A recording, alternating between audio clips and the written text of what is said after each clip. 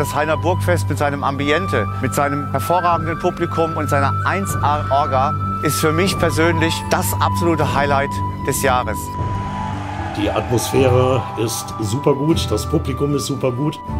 Ist für mich also wirklich einer der hochqualitativsten Veranstaltungen, die ich da habe. Am Heiner Burgfest gefällt mir ganz besonders, dass ich äh, eine unglaublich gute Beziehung zu den Leuten habe, die es organisieren. Und äh, die mir dann wirklich jedes Jahr die Möglichkeit geben, immer wieder neue Stories zu schreiben, die dort aufzuführen.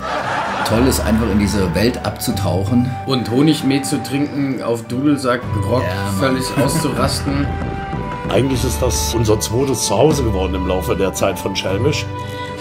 Ganz besonders freue ich mich dieses Jahr auf unsere Schotten und im Speziellen auf Shaw Patrol und auch den Charlie natürlich. It's a great honor to be back here in Dreieichenhain.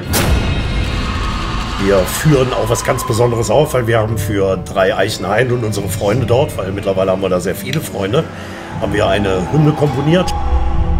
Wir haben hier unglaubliche Möglichkeiten, wir haben viel Platz und auch mit den Veranstaltern zusammen immer die Möglichkeit, hier vieles, frisches, neues Programm, neue Künstler zu präsentieren.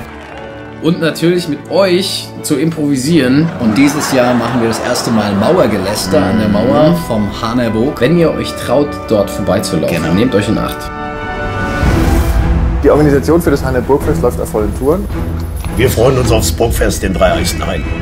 Wie jedes Jahr haben wir beim Heiner Burgfest ein Bombenwetter und insofern würden wir uns sehr freuen, euch da alle zu treffen. Wir freuen uns drauf. Wir sind Frauen, hallo, und wir freuen uns auf das